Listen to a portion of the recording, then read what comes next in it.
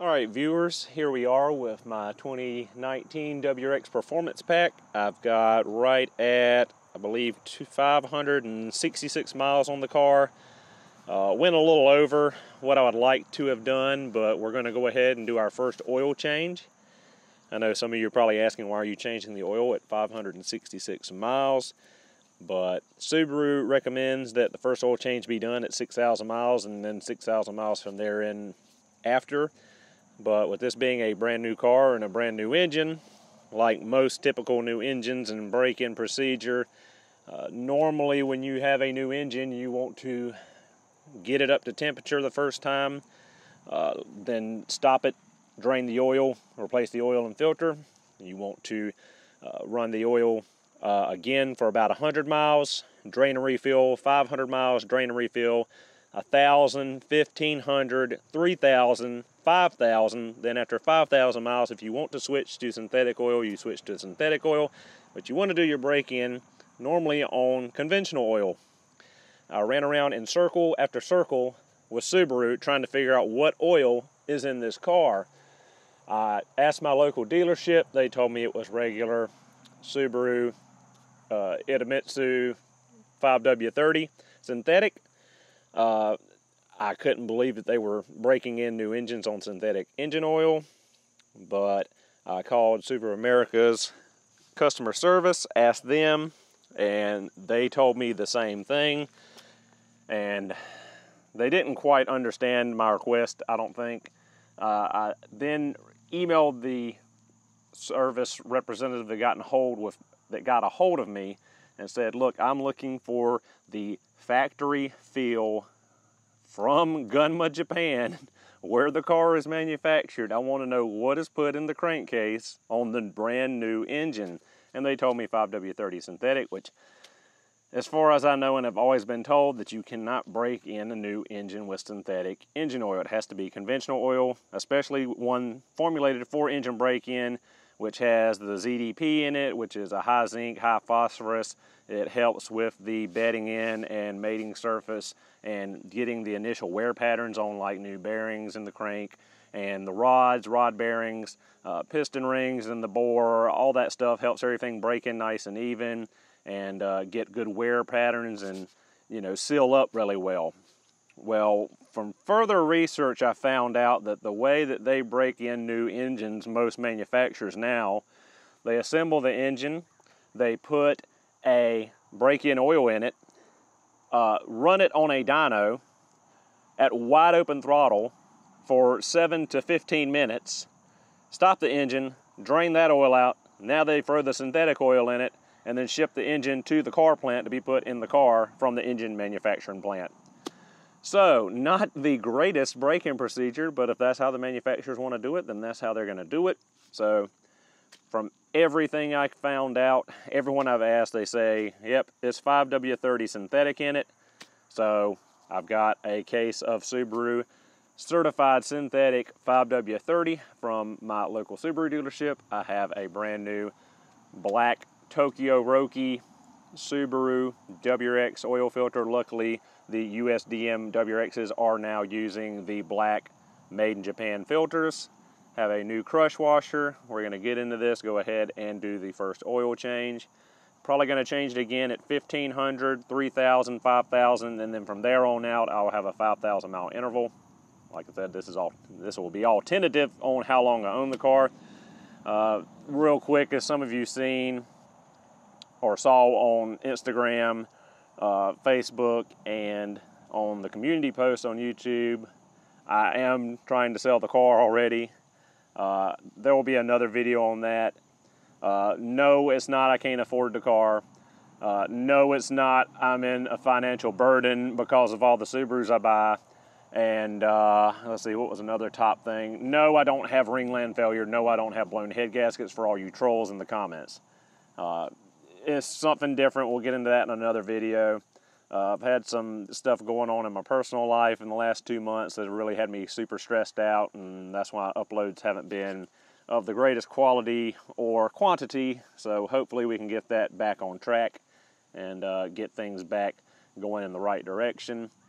So uh, I think that's enough blabbering and you looking at the front of the car. So we'll go ahead and get into this oil change. As we see here, we got our case of certified synthetic engine oil 530 from Subaru, which is the rebranded oil from Idemitsu. I'm pretty sure I pronounced it right this time. I know you guys will let me know if I didn't in the comments. Sorry, I know the last video I was talking about it, I didn't have the word in front of my head, in front of my face, and I was trying to go off of memory. But, uh, yep, so here's our new crush washer, if it'll focus, and the new oil filter. Note on these, we do have an oil cooler, which sits between the uh, timing cover and the oil filter.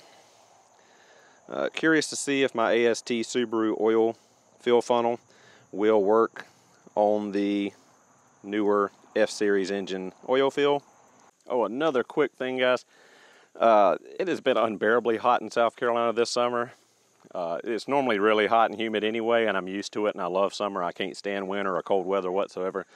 But this summer has been just absolutely horrible humidity wise, and it has killed my motivation to go outside and film and do anything. I mean, it's kind of hard to do when you step outside and you've been outside for all of 10 seconds and you're already just pouring sweat. I mean, like literally so much sweat that you have to you can't even see. You have to constantly wipe your forehead because the sweat's going in your eyes and hot diggity, that actually screwed right in there. So that's a great thing. My AST oil fill funnel for Subaru does work on F-Series engines. So score on that.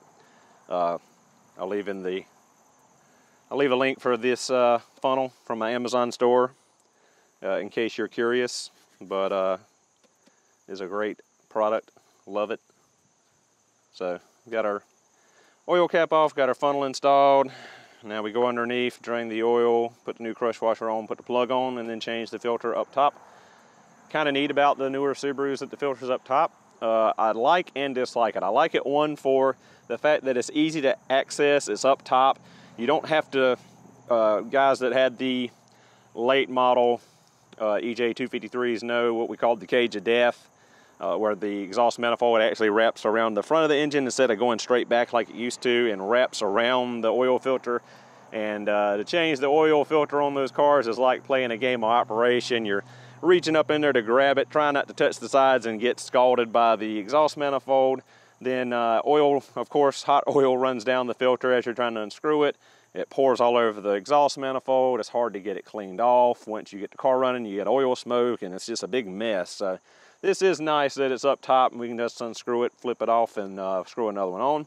Uh, the thing I don't like about it is you can't pre-fill these oil filters now because you got to put them on upside down. So you got to worry about um, a dry start unless you do a flood clear crank to get the oil moving before you start it, or if you do uh, you know, disable the system. I'm not sure if Subarus have clear, clear flood mode. I'm pretty sure most fuel injected vehicles do, but I've never been brave enough to try it on a Subaru because if a car doesn't have it and you try it, uh, real quick, clear flood mode on most cars that are fuel injected. If you put the accelerator pedal all the way to the floor, and I mean all the way to the floor, you can't have the floor mat in the way, all the way to the floor and try to crank it, it will disable the injectors and the uh, coils and you can crank the engine over without it starting. It's uh, called clear flood mode and uh, it's great for doing an oil change where you can crank the engine over and get the oil pump moving, get your oil pressure up so you don't have a dry start. Like I said, I don't know if Subarus have it or not. I've never actually done it on a Subaru. I've always just pulled the uh, fuel pump fuse or unplugged the coils or what have you when I'm uh, starting a rebuild or starting a uh, engine I've had out and completely drained the oil out of to do head gaskets or something like that. So need to do some digging in the service manual and see if there is actually a clear flood mode for the Subarus because that'd be nice to know. Oof. All right, guys, so this is actually my first time ever sticking my head under a newer WRX. Uh, this is pretty neat. Uh, there is a skid plate down here to protect the turbocharger, which I was wondering what was under here since the turbo now sits underneath the engine rather than back into the uh, right hand side of the engine bay. And stamp right here, it says DIT Forge Direct Injection Turbo. So this looks, I guess this is a forged piece of aluminum that this skid plate is made out of. Uh, apparently we don't have to remove any of this to do the oil change. There is the slightest of cracks in here where we can see just the very bottom edge of the oil pan and the drain plug for the oil pan. So I'm gonna try not to remove this. Like I said, I don't think I have to. Um, in a, another video, we are gonna put this car on the lift and uh, check out everything under here. One, because it's a shiny brand new Subaru and there's absolutely no rust or dirt or junk. Uh, nice to see. I don't know if this is part of the performance pack or if all newer WRXs have this now. It's the aluminum front lower control arms. I know back in like the GD chassis uh, WRX STIs that the STI got the aluminum lower control arms while the WRX had steel stamped lower control arms. But not too sure on this new chassis if that is uh, just across the board they have the aluminum arms or if it's just for the STI and performance pack cars. So need to do some digging on that. Otherwise, everything basically looks box standard Subaru. Same stuff we've had for decades. Uh, same basic strut arrangement. These have, uh, what do they call them, inverse struts or something. I can't remember what the guy told me that the dealership salesman told me. Uh, but basically, same sway bar, same uh, lower control arm. Uh, it is a little bit different. Uh, it's more in tune with the newer cars with the bushing going up and down instead of the big fat bushing that used to bolt on at the back of the control arm. So the control arm geometry is a little different. Uh, way more wide open under the transmission front differential here. Uh, different, a little bit different transmission cross member little bit different engine cross member. Uh, can't tell too much under the skid plate in the front end, but I'm sure most of it is a pretty standard Subaru. I did look under the back of the car, and looks like the rear suspension is completely different than the older uh, WRXs. Uh, we'll get, like I said, we'll get into that more in a later video when I put this car on the lift and we go front to back over everything uh, after I've had a little bit more time to research the differences and uh, what exactly all is new new for this car. And uh, that said, let's go ahead and get this oil draining. Uh, hopefully I can get the camera, the GoPro set up. We're in really tight quarters with the oil ramps because this car is low sitting. So see if we can get all this in here. There we go. Uh, and some of you might be asking again, uh, Mr. Subaru, what the hell are you draining out 500 mile synthetic foil, synthetic oil for? And the short answer is this it is a new engine, and part of new engine break in is when you have all the new bearings and surfaces uh, getting their wear patterns and breaking in essentially to each other. Uh, that creates, uh, God, what's the term for it? I think it's called scaff. S C A F F. Scaffing, scaff. Might be wrong. I'll put down here if I'm wrong. I'm going by memory.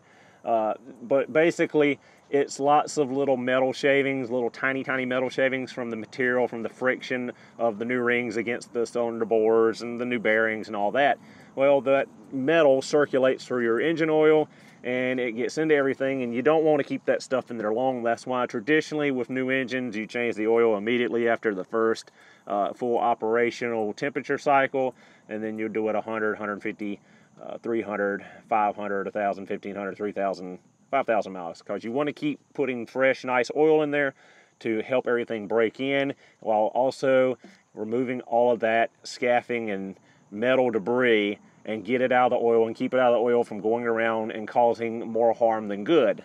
So that's why we're changing this engine oil that only has 500 miles on it and this is going to be expensive because it's all synthetic but you know I'd rather spend a lot of money now on synthetic oil and wasting it.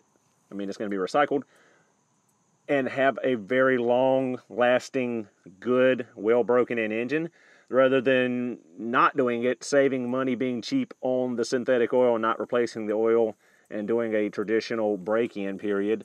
And then uh, having an engine that didn't fully break in and has issues and oil consumption and all that stuff. Not saying this will solve Subaru oil consumption. We're going to monitor that on this car to see if this car does have an oil consumption issue. And, uh, yep, so enough talking. Time to drain this oil.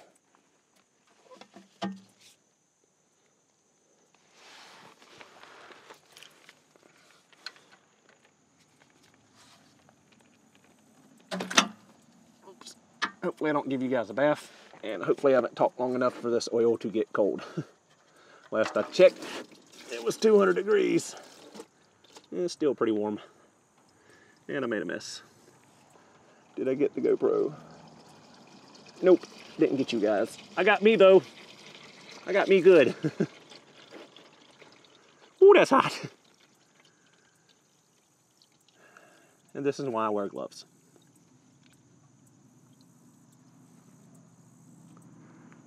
So we're going to take this out and see if we see any glittery metal shavings in it uh, after we get this drained out. Also going to take the oil filter off and we're probably going to cut it open and see if we can see any evidence of the uh, metal fragments, the that scaffing, scafing, whatever the term is, and uh, go from there. So we'll let this continue to drain out. I'll clean up my mess and uh, throw a new crush washer on here, tighten that all up, and we'll go top side and refill. All right, guys, everything's cleaned up. Got the drain plug back in, new crush washer on, torque the spec. Good to go down here. Uh, now to go to top side, replace our filter, and refill. All right, let's pop our filter off. Hopefully it's not Gorilla tight.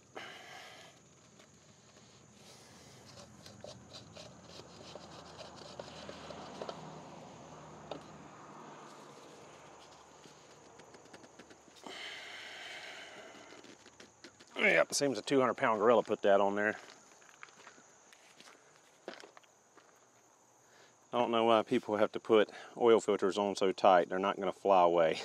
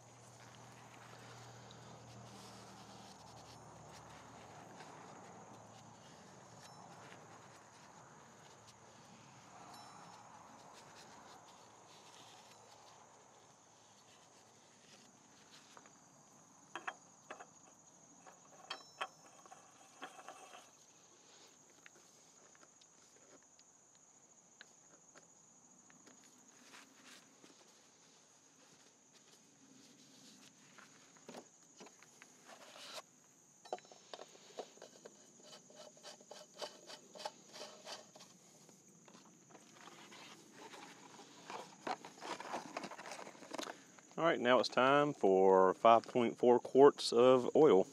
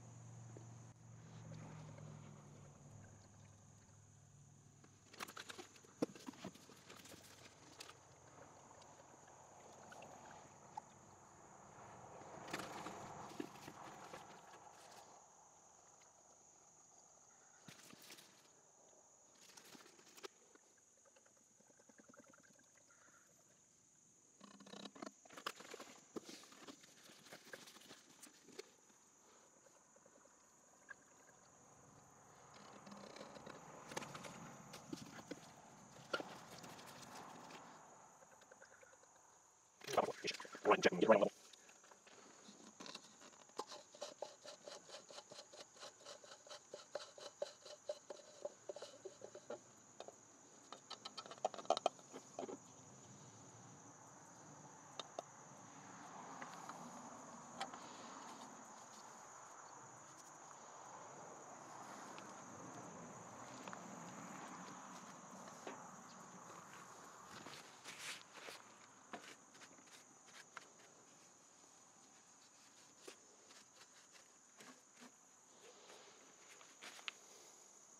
All right, so now we'll start it up, uh, let it run a little while, cut it off, uh, make sure there's no leaks from the drain plug, uh, back it off the ramps, and uh, let it sit a couple minutes, let the oil have time to get back into the pan, check the level, and should be good to go.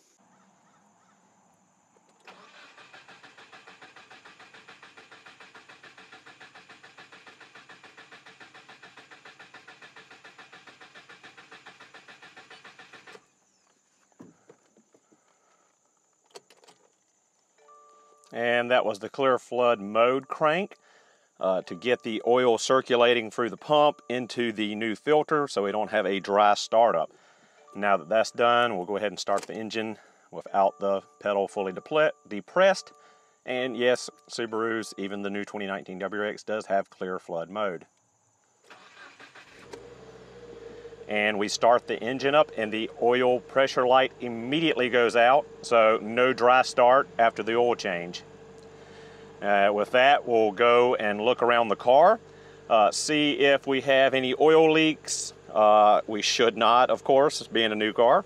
And uh, we will back it off of the oil ramps, let it run about minute, two minutes, cut it off, let it sit a couple minutes for the oil to have time to drain back into the oil pan, and check the level, and we will be good to go.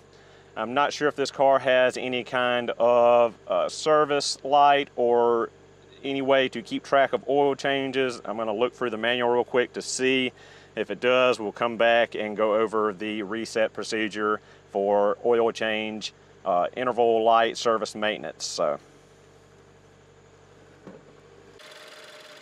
So just pop my head underneath. Of course, no leaks from the oil drain plug, new crush washer on it and torque spec, so no leaks, have no leaks visible around our oil filter.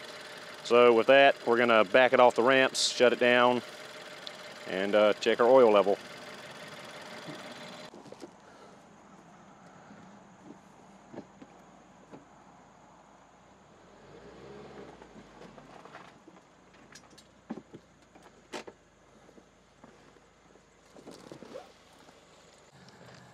Right, got our oil filter off of the WRX in the oil filter cutter. Let's get this booger open and uh, see if there's anything interesting to see inside.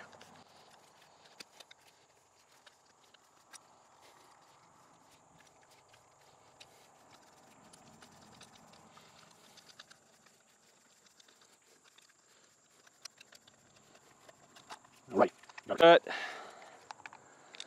Let's see if we got any shimmery shinies in here. So as normal, and you'd expect with the Tokyo Roki filter, nice heavy steel top plate, nice hole, big side, nice diameter holes for good oil flow. Got our silicone anti-drain back valve. And we have our filter element with our steel end caps. Uh, not really seeing any shimmery shinies on here at the bottom of the filter. Oh there we go. We do have that gray material there that is the um, metal shavings. I don't know if it's coming from on the camera but there is a little sparkle in it. So that is the breaking in of this brand new engine. As you see all caught here in the bottom near the uh, bypass valve. Let's go down here. Yep you can see maybe since the sun just hit you may be able to tell the shimmery little metal bits in the bottom of the can in that oil that's left. So we do have some metal shavings in there, which is typical. It's not actually shavings, let me rephrase that. It's not shavings, it's uh, small particulates, uh, small metallic particulates that you can see. That is from the, like I said, the breaking of the new engine. So uh, nothing abnormal here.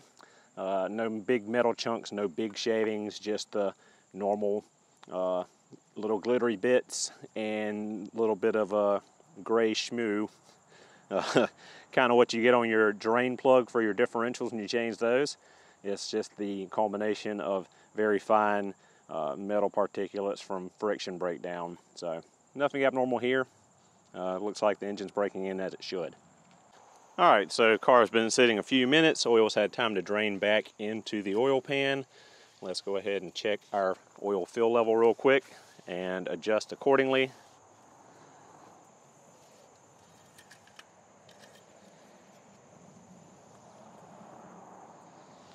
Just a hair off from the top full line. I'll let it sit another minute or so just before I uh, go to top off any more than that uh, just to make absolute sure that uh, all the oil has had time to drain back down into the oil pan.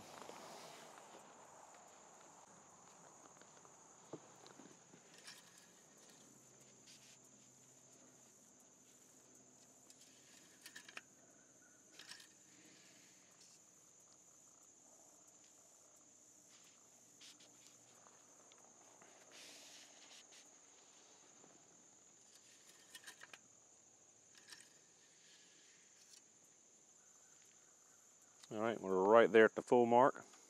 I don't know if I'm pointing at the camera or not, but right there topped up, we are good to go.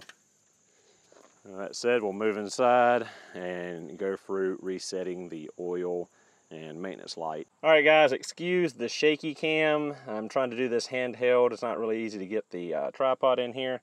So what we're gonna do is go in our settings menu and uh, maintenance, engine oil, and uh, do do do do do.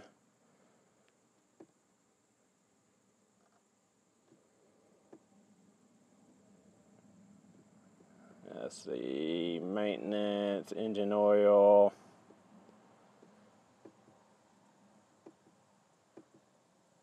That's not right. Let's see. We're going to change it again at 1,000 miles. So we got, I guess we'll set it at 1,000 miles because it won't go down to 500. So set that, setting complete. So oil filter, go down and set that also to 1,000 because we can't set it to 500. We might just go to 1,500 on this next oil change. And do do. And yeah, all right, we're good to go now. All right, guys, sorry for the audio on this. I'm recording with my phone and the screen recorder. But real quick, for warranty purposes, since I do my own services, and for any of you that have a new Subaru and want to do your own services, uh, go into your My Subaru account, go to select your vehicle, go to service, and let's see, that's not it. Hang on.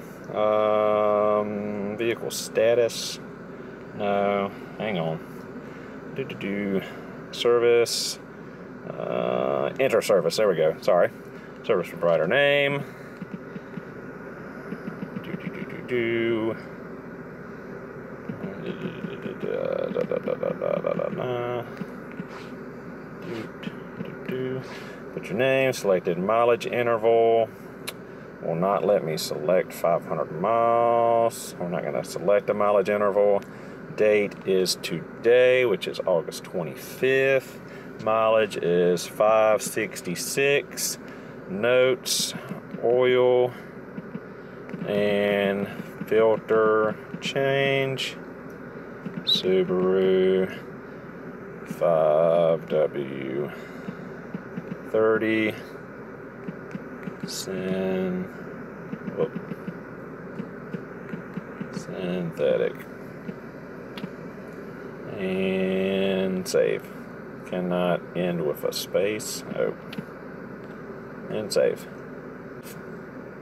Your server entry has been added. There we go. Sound, can I see it? Nope. Uh, service, service schedule reminder, service history. And here we go, service history on my WRX Performance Pack. 566 miles service completed August 25th by me and it was an oil and filter change with Subaru 5W30 synthetic.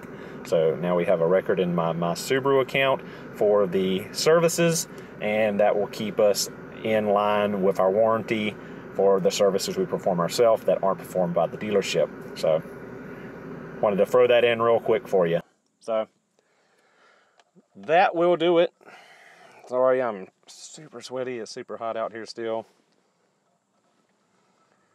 It was nice this morning. It's 80 degrees right now, but it feels like about 120 because of the humidity. So with that said, thank you so much for watching. Hope you enjoyed the video, and I will see you in the next one.